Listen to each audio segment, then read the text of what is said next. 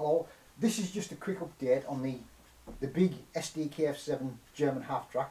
I was specifically asked for an update by somebody who looked at the uh, the muskets hanging on the kitchen wall video which featured the half track. Um, currently undergoing a repaint, it's had a strip down and repaint. Uh, what I'm currently spraying in, if you keep, keep an eye out on eBay, it's called the Army Painter. In this case, it's primer desert yellow.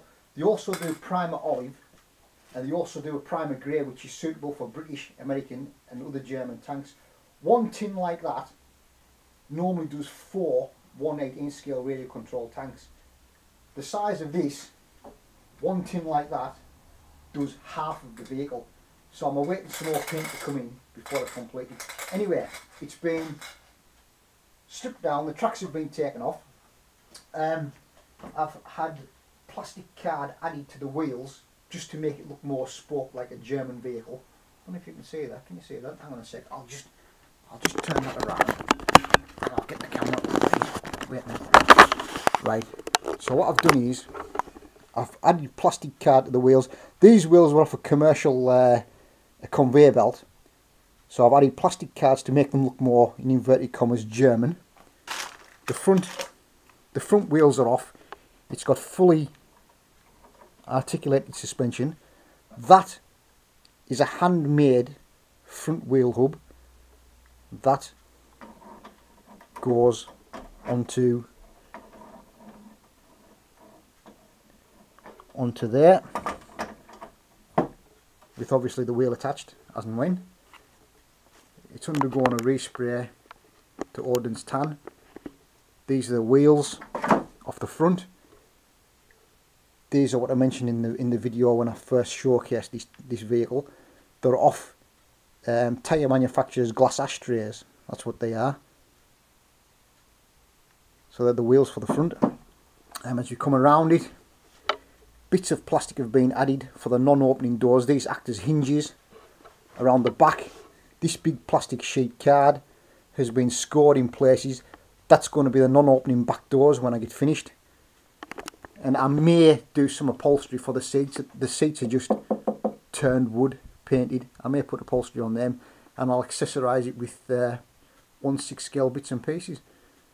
So that, that's where I'm currently at with the big German half track. The other side of the vehicle is yet to be spray painted, Un underneath yet to be completed as well. But yeah, it's coming along alright, and as I say, if you're going to spray paint these uh, radio control things, colour primer Desert Yellow by the Army Painter. Really good value for money. It's really good stuff. Desert Yellow, they also do a German looky likey grey they also do a, an, an American Army looking like olive. They also do a British Army looking like a greeny olive colour.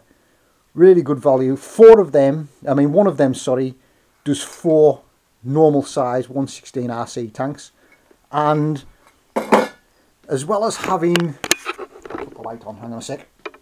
As well as having a big German half track in the kitchen and a big German Pak 40 and muskets on the wall. If we come over here, got swords, and that's where my RC tanks live, in the kitchen.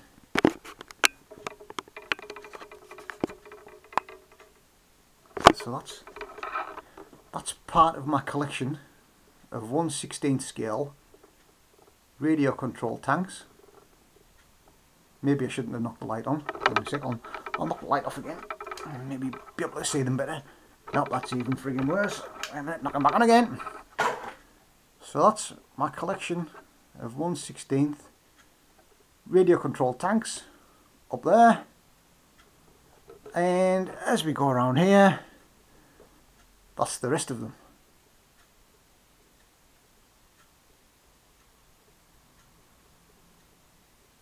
yeah so that's where I'm at tanks anyway so that's where I'm at with the big tank anyway the big the big half track.